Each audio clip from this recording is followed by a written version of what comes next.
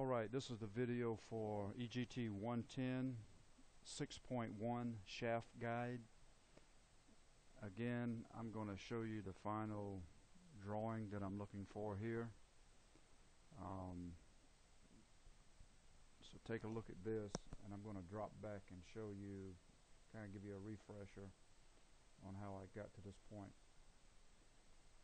Of course you're going to box in all your views, create your 45 degree line here where you can transfer everything over and down transfer everything over and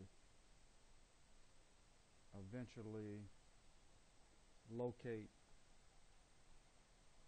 the hole in the handle here and we're going to put our hidden lines next here. We have the hole that runs all the way through here and our top hole here. And you'll see all the dimensions.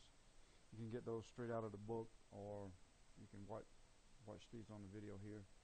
Next you want to place all your center marks center lines.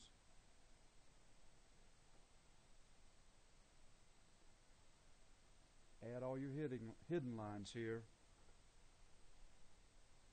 and once you have that you're going to follow up with your dimensions. And when you get through you should have something that looks like this. So once you get that go ahead and create a block.